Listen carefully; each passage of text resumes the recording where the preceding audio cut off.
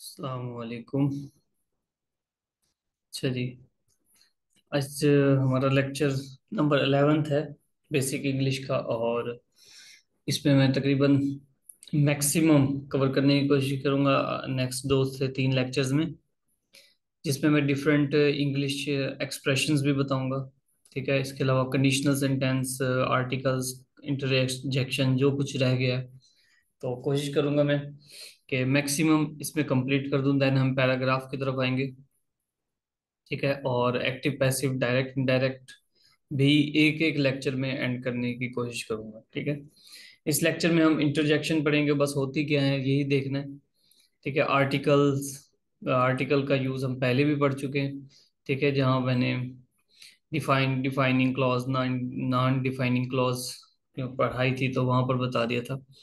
को relational pairs ठीक है, इनके बारे में थोड़ा सा पढ़ेंगे कंडीशनल सेंटेंसेस के बारे में थोड़े थोड़े रूल्स पढ़ेंगे, बाकी आप प्रैक्टिस कीजिएगा। अच्छा जी इंटरेक्शन की पार्ट्स ऑफ़ स्पीच में हमारे एट नंबर पर है। इंटरजेक्शन का मतलब होता है कि कोई भी एक्सप्रेशन जब देना हो, ठीक है, किसी भी सेंटेंस में ठीक है, क्योंकि ये हमारे ऐसे वगैरह में कन्वर्सेशन में यूज़ होता है, ऐसे में कोई यूज़ नहीं है इसका इंग्लिश में। इंग्लिश स्टोरीज में इसका यूज़ हो सकता है, लेकिन क्योंकि हम फॉर्मल ठीक है राइटिंग के बारे में पढ़ रहे हैं कि हम लेटर्स कैसे लिखें इंग्लिश ऐसे कैसे लिखें कम्पिटिटिव एग्ज़ाम्स के तो उसमें इसका कोई खास यूज़ नहीं है। बस इसके बारे में इंट्रोड्यूस करवाना था, ठीक है एक्स एक्सक्लेमेशन साइन भी इसमें आता है। हाँ करेक्शन के हवाले से क्योंकि ये आता है तो जब मैं एक कोमा ठीक है सेमी कॉलन एटसेट्रा ये करवाऊँगा तो देन मैं इसका इंटरेक्शन के कुछ सेंटेंसेस के एग्जांपल्स में दूँगा। सरप्राइज़ सेटिस्फेक्शन डिलाइट मतलब खुशी सारो दुख पेन अप्रूवल ठीक है, इन सब के कुछ एक्सप्रेशंस हैं जिन जो इंटरजेक्शन के तौर पे इस्तेमाल होते हैं। जैसे सरप्राइज़ हो तो ओहो, जिस तरह उर्दू में, मैं इसको थोड़ा बताता रहता हूँ, ठीक है? तो जैसे अगर कोई हमें सरप्राइजिंग कोई बात करे तो हम कहते अच्छा ठीक है, वैसे पी के याद आ गया अच्छे से। तो ओह, ठीक है, आहा, कहते हैं खुशी में, हुर्रा अंग्रेज़ कैसे कहते हैं, ठीक है जी? ब्रेवो, आफ्ताब इकबाल साहब, ठीक है, को कहते हुए अक्सर सुना होगा, ब्रैवो, यानी कि शानदार, ज़बरदस्त है, ये अप्रूव कर दिया उन्होंने कि बेहतरीन कुछ इसके अलावा ओ गॉड ठीक है वेल डन एटसेट्रा इस तरह के अल्फाज भी यूज़ किए जाते हैं। आर्टिकल का मतलब है ए एन और दी को हम आर्टिकल कहते हैं, ठीक है, जिसमें ए और एन जो है नॉन डिफाइनिंग आर्टिकल्स हैं। नॉन डिफाइनिंग का मतलब है कि इसमें एक नया एक्सप्रेशन आ रहा है, किसी चीज़ को ये डिफाइन नहीं कर रहा, किसी को बता नहीं रहा, ठीक है। एन एम्ब्रेला एक छतरी है जी, और, ठीक है, बस एक छतरी है, कोई स्पेसिफिक छतरी नहीं है स्पेसिफिक अम्ब्रेला नहीं है, एक अम्ब्रेला अच्छा। इसमें जो इश्यूज़ आते हैं, हम कहते हैं, अक्सर ये कहा जाता है कि ए वॉवल्स के साथ एन का इस्तेमाल होता है ए ई आई ओ यू ठीक है, बचपन से पढ़ते आ रहे आ रहे हैं। ही हैज़ एन एप्पल ठीक है एप्पल के पीछे ए आ गया तो एन आएगा। लेकिन यहाँ देखें एन ऑनेस्ट मैन तो एच के साथ ये आ रहा है, उसके बावजूद एन का यूज़ हुआ। क्यों? क्योंकि आपने ना इसकी साउंड्स देखनी है, कि ज़रूरी नहीं कि वावल वावल जो लेटर्स हैं, सिर्फ़ उनके साथ ही आएगा, बल्कि ये अगर कोई उसकी साउंड भी दे रहा है वावल्स की, तब भी एन का इस्तेमाल होगा। जैसे ऑनेस्ट तो ऑनेस्ट में ए की साउंड आ रही है। अम्ब्रेला एन अम्ब्रेला यू आ रहा है ए आई यू यू ठीक है? तो ए ई आई यू यू के साथ तो आएगा ही, लेकिन इसकी साउंड भी आनी चाहिए। एम ए के साथ एम जो के एम के स्टार्ट में देखें अलीफ इसको हम उर्दू में भी लिखेंगे तो अलीफ, ये, मीम एम बनता है। तो एम ये ए की साउंड देता है एम तो लेकिन मैन में ये मीम की साउंड देता है। ठीक है मैन अगर ये होता आ मैन मतलब मैन ऑनेस्ट ना यूज़ होता तो सिर्फ़ मैन के साथ होता तो मैन के साथ ए आता है, क्योंकि उसमें मीम की साउंड देता है। जबकि एम ए में अलिफ की साउंड देता है, ठीक है ए की साउंड देता है। एम एन ए है, चाहे एम बी बी एस है एफ़ ए में, ठीक है, देखो एफ़ ए अब आप ये ना समझिए कि एजुकेशन के साथ एफ़ ए मैट्रिक सबके साथ एन आएगा। नहीं एफ़ ए में जो कि वो फे की साउंड दे रहा है एफ़ ए तो एन नहीं एन आएगा, ठीक है? एफ़ ए की मतलब अलिफ और इस तरह फे ए की साउंड इसमें आ रही है, ठीक है ना? F A an F A नहीं, ठीक है सॉरी अच्छा लेकिन ए कॉम, ठीक है C C com B com जिस तरह आता है तो कॉम सी की आवाज़ है तो ए इसी तरह बी ए के लिए बी बी की साउंड आ रही है तो फिर ए यूज़ हो गया ओके अच्छा डिपेंड ये क्लॉजेज हैं कुछ। जिस तरह my father who works in a factory gets up early इसको मैंने कम इसको नॉन डिफाइनिंग क्लॉज कहते हैं, जिस तरह ए और एन का यूज़ होता है माय फादर है, यानी कि अब एक फादर तो नहीं आएगा, लेकिन ये नॉन डिफाइनिंग है, ठीक है? तो non defining clause non defining article से रेलिवेंट है non defining clause my father who works in a factory gets up early in the morning अब ये नॉन डिफाइनिंग क्लॉज है, ठीक है? क्यों? क्योंकि इसमें ये दा फादर तो आ नहीं सकता। दा फादर यानी कि वो वाला फादर नहीं। ये अब ज़रूरी नहीं कि ए और एन आए तो नॉन डिफाइनिंग क्लॉज होगी। अगर कोई चीज़ अंडरस्टूड है ठीक है जिस तरह माई फादर है तो वो एक चीज़ अंडरस्टूड है कि एक ही होंगे तो ए और एन का यूज़ नहीं बनता। तो इसको भी नॉन डिफाइनिंग कहते हैं। अब अगर नॉन डिफाइनिंग देखें, अगर नॉन डिफाइनिंग किसी भी सब्जेक्ट के साथ कोई क्लॉज लगाते हैं तो उसको कोमा में आप इनक्लोज करोगे। और अगर यही, ठीक है डिफाइनिंग आर्टिकल के साथ आ जाए, फिर आप कोमा नहीं लगाएँगे, देखें the egg that she drop अब यहाँ कोमा नहीं आया। हु के आगे साथ ये पूरी क्लॉज के साथ कोम आया, लेकिन दैट वाली क्लॉज के साथ नहीं आया। द एग वाज ब्रोकन ये तो एक ही क्लॉज है, एक सेंटेंस है complete the egg that she dropped was broken तो ये डिफाइनिंग हो गया। तो डिफाइनिंग के साथ कॉमन नहीं आता डिफाइनिंग क्लॉज है। या दैट क्लॉज भी कहते हैं। अगर ये दा की जगह एन हो जाए एन एग फिर विच शी ड्रॉप जो के उसने गिराया तो फिर यहाँ पे फिर कोमा आएगा, क्योंकि नॉन डिफाइनिंग क्लॉज हो गई। एक बात, दूसरी, आप यहाँ पे भी गौर करें कि अगर डिफाइनिंग आर्टिकल लग जाए, दा तो फिर आप क्लॉज के लिए दरमियान में जो क्लॉज बनाएँगे, उसके लिए उसमें दैट इस्तेमाल करेंगे। और अगर नॉन डिफाइनिंग आर्टिकल लग जाए ए और एन तो फिर आप विच इस्तेमाल करेंगे, और जो हु होता है, वो ह्यूमंस के लिए होता है। ये पहले बातें हो चुकी हैं। नॉन डिफाइनिंग आर्टिकल है जी दा, उसको हम थोड़ा सा इधर डिटेल से देखेंगे कि दा का इस्तेमाल, क्योंकि बड़ा स्पेसिफिक होता है जी। कुछ लोग एक सेंटेंस में दो दो, तीन तीन दा इस्तेमाल कर रहे हैं, दा भी कहते हैं, इसको दी भी कहते हैं। तो कहाँ पर इसका इस्तेमाल होना है और कहाँ पर नहीं होना? दा, अगर किसी चीज़ को, किसी वर्ड को प्लूरल बनाना है, जिस तरह रिच ठीक है? अब अगर रिच और पुअर के साथ दा आ जाए तो ये उसका मतलब हो जाएगा पूरी दुनिया के अमीरों की बात हो रही है। ब्लाइंड डीफ हैंडीकैप्ड ठीक है इम्प्लॉयड तो द आ जाए तो पूरी दुनिया के इम्प्लॉयड्स की इम्प्लॉयड लोगों की बात हो रही है। अब जैसे एक सेंटेंस है the riches should help the poor poors ये गलत है। क्यों? द रिचेज यानी कि उसने कहा, अमीरों को, गरीबों की मदद करनी चाहिए। द रिचेज रिच के आगे ई एस लगाकर इस सेंटेंस में उसको प्लूरल बनाने की कोशिश की गई है। लेकिन अगर आप सिर्फ़ द रिच लिखें तो भी इसका मतलब होगा पूरी दुनिया के अमीरों की बात हो रही है। द पुअर पूरी दुनिया के अमीरों की बात हो रही है। इसके अलावा, the novel I have just finished is very interested is very interesting sorry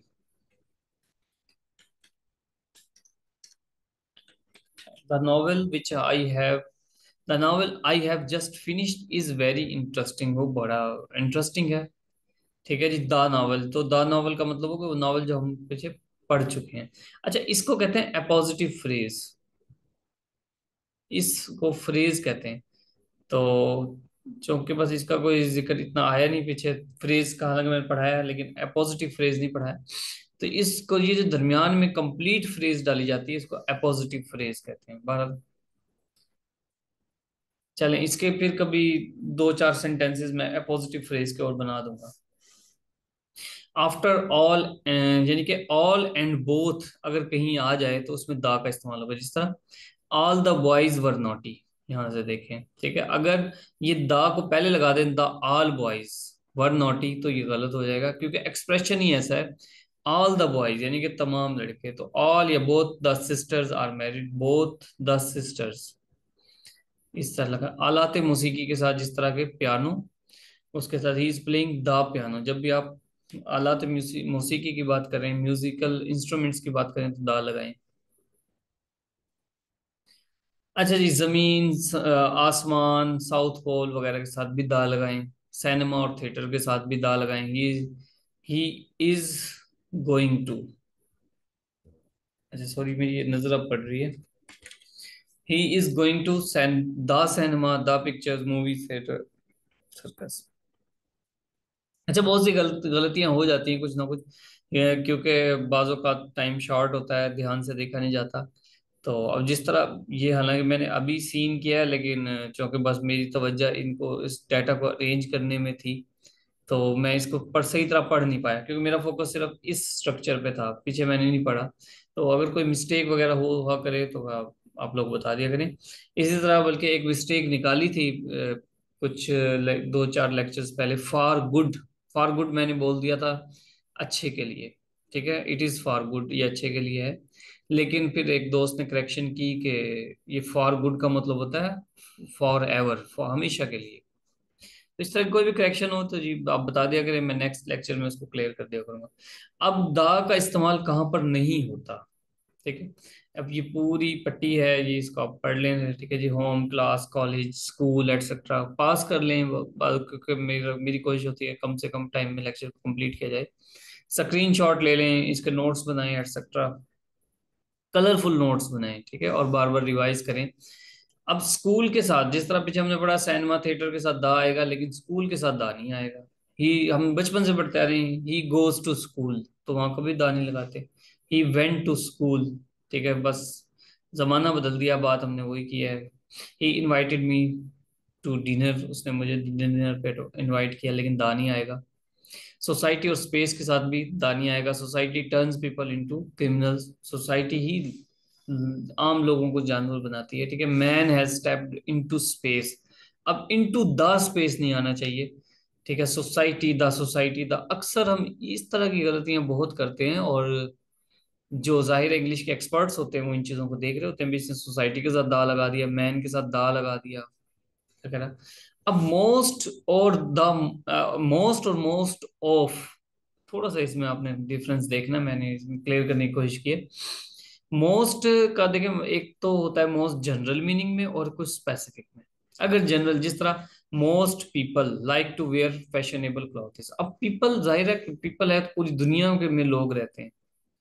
तो जब आप कॉमन चीज़, किसी चीज़ को, अगर पहली बात है दोनों का मतलब ही मेजोरिटी के मानी में ज़्यादातर। अब मोस्ट पीपल एक जनरल बात है। अगर जनरल बात हो तो फिर आप सिर्फ़ मोस्ट लगाएँ, अगर स्पेसिफिक हो तो मोस्ट ऑफ़ लगाएँ। Most people like to wear fashionable cloth ज़्यादातर लोग फैशनेबल कपड़े पहनते हैं। मोस्ट पीपल पीपल कॉमन है। लेकिन अगर देखें इंफॉर्मेशन के लिए आए तो मोस्ट ऑफ़ क्यों? क्योंकि ये स्पेसिफिक चीज़ है। इंफॉर्मेशन पूरी दुनिया में एक जैसी इंफॉर्मेशन नहीं हो सकती। एक बंदे को एक खास तरह की इंफॉर्मेशन मिल रही है। Most of the information was useful ज़्यादातर जो भी इंफॉर्मेशन मिली, उसमें से ज़्यादातर फ़ायदे फ्रूटफुल थी यूजफुल थी। ठीक है, इसका मतलब कुछ रेलिवेंट थी, लेकिन ज़्यादातर यूजफुल थी। तो यूज़ मोस्ट कहते हैं use most if you are talking about general group के बारे में बात कर रहे हो तो मोस्ट लगाएँ स्पेसिफिक के बारे में कर रहे हो तो मोस्ट ऑफ़ लगाएँ। लैंग्वेजेस के साथ दाना लगाएँ यू आर लर्निंग इंग्लिश ठीक है? तो गेम्स के साथ भी ना लगाएँ he is playing hockey he is playing cricket he is a cricketer ठीक है? He plays cricket well cricket बहुत अच्छा खेलता है streets road station airport countries ठीक है जी सिटीज़ डेज़ इनके साथ कभी दाना लगाएँ। I live in Sunny Street I live in street thirty one ठीक है? और इसी तरह यहाँ देखें आई मेट मैंने कहा था अभी नाम, दिन, मुल्तान, यानी कि सिटी कंट्रीज़ के साथ कभी दाना लगाएँ। I met Aslam on Friday in Multan. बस यूँ करें। अच्छा आई एम मैंने इसको आई को ख़त्म करने किया, लेकिन एम को नहीं। शी इज़ फ्रॉम पाकिस्तान वो पाकिस्तान से है। दा पाकिस्तान नहीं लगाना। अच्छा दरमियान में ये रह गया महीने की तारीख। अगर हो will go to Lahore on April twenty six अब ये फॉर्मेट हो तो फिर ना लगाएँ दा। लेकिन ट्वेंटी सिक्स अप्रैल हो तो फिर दा लगा सकते हैं। नहीं मतलब लगाना नहीं है आपने। इसमें किसी भी सूरत में नहीं, ना लगाएँ। अप्रैल ट्वेंटी सिक्स हो या ट्वेंटी सिक्स अप्रैल हो, कभी दा ना लगाएँ। अच्छा एक सेकंड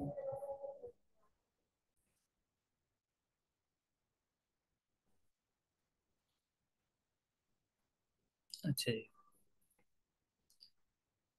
महीने की अगर तारीख हो, इसमें थोड़े से कंपैरिजन की ज़रूरत है।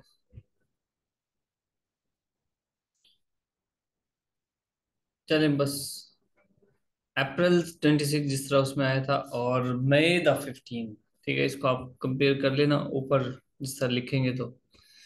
आप एक साथ लिखेंगे तो आपको समझ आ जाएगी। को रिलेशनल पेयर्स ये मल्टीपल टाइम हम यूज़ करते हैं सेंटेंस को एक्सटेंड करने के लिए हम यूज़ करते हैं ठीक है? लेकिन अक्सर औकात तो देखिए हमारे सेंटेंसेस बिल्कुल सिंपल सिंपल होते हैं। तो क्या होता है कि, कि हमारे सेंटेंस के स्ट्रक्चर में खूबसूरती नहीं आती। हमारा पैराग्राफ अट्रैक्टिव अट्रैक्टिव बनता ही नहीं है। हम ये so that you may can although yet वगैरह इस्तेमाल ही नहीं करते। हालाँकि ये ट्रांजिशंस के लिए बहुत ज़रूरी है, ठीक है? एक कॉन्सेप्ट से दूसरे कॉन्सेप्ट की तरफ़ आइडिया की तरफ़ एग्जांपल्स के लिए हम इन चीज़ों का सहारा लेना चाहिए हमें। लेकिन अगर कोई यूज़ करता है तो उसमें कुछ मिस्टेक्स हो जाती हैं इस तरह। सो दैट जब भी आप इस्तेमाल करें तो आगे मे और कैन का इस्तेमाल, ठीक है? कोशिश करेंगे मे और कैन का इस्तेमाल हो। जिस तरह some people watch film in Ramzan ठीक है? यहाँ तक तो बात होगी। कुछ लोग रमज़ान में फ़िल्में देखते हैं। क्यों? सो दैट अब यहाँ पर हम अक्सर औकात बिकॉज़ ठीक है? बिकॉज़ का इस्तेमाल कर देते हैं। लेकिन बिकॉज़ की जगह आप, कहीं बिकॉज़ इस्तेमाल करें, कहीं लिख दें। सो दैट सो दैट क्यों? ताकि दे मे किल टाइम ताकि वो अपना वक्त जाया कर सकें। ठीक है? दे मे किल टाइम दे वुड नहीं लगाना आपने, ठीक है? मे लगाए दें। अक्सर यहाँ कैन का इस्तेमाल, कैन पे थोड़ा सा वो फोर्सफुल हो जाता है। ठीक है, यहाँ पर थोड़ा शायद के मानी में है कि यकीनन इसीलिए करते हैं। सो और दैट ठीक है, मैंने बताया आपको किस तरह बिकॉज़ हम यूज़ करते हैं सो so दैट इस्तेमाल नहीं करते। आल दो जहाँ इस्तेमाल हो तो आगे बाजूकात येट इस्तेमाल कर दिया जाता है, ये करेक्शन है। लेकिन येट आप कोशिश करेंगे ना करें, क्योंकि येट की ज़रूरत नहीं है। हाँ अगर बात पे ज़ोर देना हो, फिर येट की ज़रूरत पड़ेगी। जिस तरह दो ही वॉज़ इंजर्ड ठीक है येट या बट अच्छा यहाँ पर आप बट भी कर सकते हैं। चलो आल्दो के बाद ना येट का इस्तेमाल करना है या ना बट का करना है, लेकिन येट किसी कदर किया जा सकता है कभी ज़ोर देने के लिए। Although he was injured but he was not crime अगरचे वो जख्मी हो गया था, लेकिन वो, ठीक है, चीख नहीं रहा था, चिल्ला नहीं रहा था। तो यहाँ से बट को रिमूव करें he was not crime comma लगाएँ ही वॉज़ नॉट क्राइम अच्छा इस तरह although he is poor yet he honest वो अगर चाहे ठीक है, वो गरीब है, लेकिन फिर भी वो ईमानदार है। एज के बाद सो का इस्तेमाल कभी भी ना करें। As she is poor so she is dishonest क्योंकि वो गरीब है, इसलिए वो डिसऑनेस्ट है तो यहाँ शी का सो का इस्तेमाल बिल्कुल ना करें। कोमा के बाद एज अगर आया, उसके बाद फिर सेंटेंस के बाद कोमा आ गया तो वो अंडरस्टूड हो जाएगा। As she is poor she is dishonest यहाँ पे थोड़ा सा हर्डल होती है, ठीक है, कि ऐसा लगता है कि नहीं, ये गलत हो गया, लेकिन ये गलत नहीं है। एज के बाद आप सो का इस्तेमाल ना करें। एज के बाद अच्छा अगर इस तरह ये वर्ड है, ये एक एक्सप्रेशन है एज स्मार्ट एज तो इसके बाद ऑब्जेक्टिव केस इस्तेमाल ना करें, बल्कि सब्जेक्टिव केस इस्तेमाल करें। हर चाहे वो वी हो दे हो, वगैरह, जितना भी है, इसका ऑब्जेक्टिव केस इस्तेमाल करें। He is as smart as she is क्यों? क्योंकि इसमें कंपैरिजन है कि वो उतना ही स्मार्ट है जितना कि वो लड़की है। तो जब, देखें, ये जो स्मार्ट है, यहाँ पर ये एज स्मार्ट एज इसमें कंपैरिजन किया जा रहा है का। तो ही का कंपैरिजन ही एक सब्जेक्ट है, उसका कंपैरिजन ऑब्जेक्ट से तो नहीं हो सकता। यकीन वो सब्जेक्ट से ही होगा तो इस तरह इसको इसको देखें। बिकॉज़, अब बिकॉज़ का यूज़ है। एक सेकंड अच्छा जी। Because you are poor therefore I help you. यहाँ देयर फॉर का यूज़ ना करें। Because you are poor therefore I help you, मैं तुम्हारी मदद इसलिए करूँगा कि तुम पुअर हो। पहली बात तो इसमें देयर का इस्तेमाल नहीं आना चाहिए ठीक है? Because you are poor I help you क्योंकि आप बीमार क्योंकि आप गरीब हो मैं आपकी मदद करूँगा। सबसे पहले तो इसमें ये मिस्टेक है। दूसरी मिस्टेक इसमें जिस तरह हमने अ, कल पढ़ा था आई थिंक बिकॉज़ वगैरह ये जितने भी हैं आप इसको दरमियान में यूज़ करें। I help you because you are poor ये करेक्ट है। इसमें और दो तीन मिस्टेक जिस तरह ऊपर मैंने बताया सब्जेक्ट वर्ब एग्रीमेंट का इशू आ जाता है जब आप इधर और आर इस्तेमाल कर रहे हो, इधर आर तो सेकंड सब्जेक्ट के बाद जो सेकंड सब्जेक्ट आएगा, उसके अकॉर्डिंग आपने हेल्पिंग वर्ब लगाना है। इधर अली आर आई, ठीक है आर गोइंग टू लाहौर। अब आर ज़ाहिर कर रहा है कि हमने इन दोनों को अली और आई को मिला दिया। लेकिन चूँकि इसका ये रूल नहीं है तो आप सेकंड सब्जेक्ट इसमें बनता है आई तो फिर आप एम लगाएँ। एम गोइंग टू लाहौर इधर और आर जब भी आए तो आप सेकंड सब्जेक्ट के साथ हेल्पिंग वर्ब लगाएँ। अली एज वेल एज जब एज वेल एज आ जाए तो भी तो आप फ़र्स्ट के साथ, ठीक है फ़र्स्ट सब्जेक्ट के साथ हेल्पिंग वर्ब लगाएँ, जिस तरह एज वेल एज आ गया तो Ali as well as I ठीक है इज़ गोइंग टू लाहौर। तो इज़ जो है वो अली को ठीक है, अली को रिप्रेजेंट कर रहा है, अली को ज़ाहिर कर रहा है एज वेल एज से। Not only she is foolish but also obstinate अब जब ये नॉट ओनली के साथ, जब भी आ जाए नॉट ओनली के बाद जो हम नॉट ओनली के फ़ौरन बाद आप हेल्पिंग वर्ब लगाएँ और सब्जेक्ट यानी कि क्वेश्चन की शेप दे दें नॉट ओनली के बाद। ठीक है, ये करेक्शन इस तरह की बहुत कॉमन है। Not only is she foolish but also obstinate ठीक है? यहाँ पे एक सेंटेंस मैंने दिया इसमें आप कोशिश करें करेक्शन करने की। Not only he was a thief but also a murder इसमें क्या मिस्टेक है इसको करेक्ट करें। हार्डली के साथ भी सेम है, ठीक है? हार्डली हैड ही स्लेप्ट ठीक है, देखें हार्डली के फ़ौरन बाद हेल्पिंग वर्ब आया। एक क्वेश्चन की शेप होगी। हार्डली हैड ही स्लेप्ट लेकिन क्वेश्चन बनेगा नहीं। अच्छा हार्डली के साथ देन का इस्तेमाल ना करें, बल्कि वेन का इस्तेमाल करें। Hardly had he slept when the bell ring अच्छा इसका मतलब क्या है? हार्डली हैड ही स्लेप्ट इस, ये इंग्लिश में क्वेश्चन की शेप है और ये क्वेश्चन है नहीं। उर्दू में भी हम क्वेश्चन नहीं बनाते और इंग्लिश में भी देखें आगे क्वेश्चन मार्क नहीं है। हार्डली हैड ही स्लेप्ट अभी वो सोया ही था कि के बेल बज गई। ठीक है, अभी वो सोया ही था कि बैल बज गई। नो सुनर के फ़ौरन बाद भी helping verb no sooner did he sleep no sooner के साथ आप देन लगाएँ। ठीक है हार्डली के साथ वेन लगाएँ। अच्छा ये अभी मैंने देखा तो थोड़ी कंफ्यूजन हो गई कि टी एच ए एन आना चाहिए क्या ई एन में अभी आप क्लियर कर देते अच्छा टी एच ए एन आना चाहिए। No sooner did he sleep then the bell ring जैसे ही वो सोया बेल बज गई। ठीक है? इसका मतलब भी यही है सेम मतलब है जी। हार्डली ही स्लेप्ट का मतलब अभी वो सोया ही था कि बेल बज गई। No sooner did he sleep अभी वो सोया ही था कि बेल बज गई। बात एक ही है।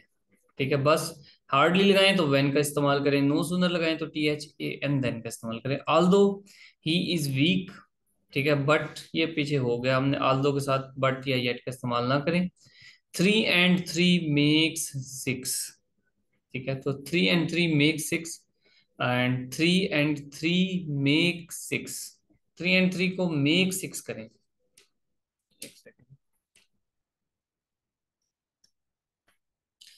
अच्छा अब ये थोड़ी सी इसको डिटेल से समझे, ठीक है? बाजू का टू एंड टू का भी आ जाता है तो कंफ्यूजन होती क्या है? Two and two make four two and two makes four दोनों ठीक है। Two and two make four और two and two makes four दोनों ठीक है। क्यों ठीक है? इसको हम थोड़ा डिटेल से, ऐसे समझेंगे। क्योंकि दो, यहाँ पर दो हैं। एंड टू जो है, वो एंड जो वर्ड है दरम्यान में, वो मल्टीपल के लिए भी यूज़ होता है और ऐड करने के लिए भी होता है। दोनों के लिए इस्तेमाल होता है। मल्टीपल भी कर सकते हैं ऐड भी। तो अगर ये हो रहा हो मल्टीपल ठीक है? Four and two makes eight फिर यहाँ पर जो वर्ब है वो एज अ सिंगुलर आएगा। यानी कि प्रेजेंट डेफिनेट यानी कि चार जरब दो कितने होते हैं? आठ। ठीक है? लेकिन चार जमा दो, ठीक है? मेक सिक्स मेक सिक्स नहीं आएगा अगर जमा करना हो तो four and two make six तो फिर आप इसको एज अ प्लूरल इस्तेमाल करें। ठीक है? अगर मल्टीपल हो रहा हो तो सिंगुलर के तौर पे लें और ऐड हो रहा हो एडिशन हो रही हो तो फिर आप इसको प्लूरल के तौर पे लें, यानी कि प्रेजेंट डेफिनेट का, ऐसी इसका इजाफा ना करें। ओके ये दो हैं, मैंने सेंटेंस बनाए हैं कि two and five dash ten four and five dash nine. तो मेक्स आएगा या मेक या पता अच्छा कंडीशनल सेंटेंसेस कंडीशनल सेंटेंसेस चार तरह के होते हैं। Zero conditional first conditional second conditional third conditional conditional ठीक है? वन कंडीशनल टू कंडीशनल भी कह सकते हैं। फ़र्स्ट सेकंड और थर्ड भी कह सकते हैं। ज़ीरो कंडीशनल का मतलब है कोई कंडीशन नहीं है। कंडीशन कोई नहीं है, एक सिंपल है कॉज और इफ़ेक्ट एक कॉज हुआ तो इफ़ेक्ट ऑटोमेटिक होगा, जो ऑलवेज ट्रुथ है, जो हमेशा से होता ही होता है। If you throw ball in the air it comes back अगर आप बॉल को ऊपर फेंकोगे नीचे ही आएगी। दोनों तरफ़ प्रेजेंट इंडेफिनेट है। आप बॉल ऊपर फेंकते हो, वो नीचे आती है। इट कम्स बैक डाउन ठीक है? जनरल ट्रूथ है ऑलवेज ट्रू है कॉज एंड इफ़ेक्ट कंडीशन है। फ़र्स्ट कंडीशन में फ़र्स्ट कंडीशनल में क्या होता है कि daily day by day condition है और दोनों तरफ़ गा गा यानी कि अगर तुम आओगे तो मैं आऊँगा। ठीक है? I shall come if he comes मैं आऊँगा इफ़ अगर तुम आओगे तो एक तरफ़ प्रेजेंट इंडेफिनेट दूसरी तरफ़ एक तरफ़ प्रेजेंट इंडेफिनेट और दूसरी तरफ़ फ्यूचर इंडेफिनेट पहले और आगे कोई भी कुछ भी लगा सकते हैं, जिस तरह। इसमें फ्यूचर इंडेफिनेट शुरू में लगाया है और प्रेजेंट इंडेफिनेट बाद में। अगर आप पहले लगाएँ present indefinite if I see him I will call you if का, अगर इफ़ वाला सेंटेंस पहले आ जाए तो दरमियान में कोमा आएगा। लेकिन अगर इफ़ को दरमियान में करें, फिर कोमा नहीं आएगा। सेकेंड कंडीशनल का मतलब होता है unlikely impossible conditions past indefinite और वुड का इसमें स्ट्रक्चर बनेगा. अनलाइकली इम्पॉसिबल यानी कि पास्ट एक चीज़ है जो माजी में गुजर गई है और अब वो मुमकिन नहीं है, लेकिन आप सोच रहे हो अगर ऐसा होता तो मैं ऐसा करता. इफ़ आई मेट हिम अगर मैं उससे मिलता पास्ट इंडेफिनेट का यूज़ कर लिया. पास्ट इंडेफिनेट एक तरफ़ हो तो दूसरी तरफ़ वुड का इस्तेमाल करें. I would take him for dinner मैं उसको खाने पर ले जाता, मैं उसको खाना खिलाता. If I went to London अगर मैं लंदन गया होता, जाता I would visit my uncle मैं अपने अंकल के घर ज़रूर जाता, ठीक है? और थर्ड कंडीशनल में क्या है, ये भी माजी की बात है, लेकिन इसमें एक विश है, एक ख्वाहिश है, ठीक है? जबकि सेकंड कंडीशनल में ख्वाहिश नहीं है, एक सिचुएशन है, एक सोच है। जिस तरह थर्ड कंडीशनल में अच्छा थर्ड कंडीशनल का रूल क्या है? पास परफेक्ट और एक तरफ़ पास परफेक्ट दूसरी तरफ़ वुड है। पास परफेक्ट और वुड हैव देखें if I had a lot of money अगर मेरे पास बहुत सारे पैसे होते I would have bought the this car मैं इस कार को खरीद लेता। एक ख्वाहिश है जी। If we had seen him ठीक है पास परफेक्ट हैड सीन आ गया। दूसरी तरफ़ वुड हैव लगाए we would help we would help him अगर हम उसे देखते तो हम उसकी मदद ज़रूर करते। If he had worked hard अगर उसने मेहनत की होती he would have passed the exam तो एग्ज़ाम पास कर लेता। चलें जी, आज के लिए बस इतना ही। ठीक है, इनकी प्रैक्टिस करें। ओके अल्लाह हाफिज़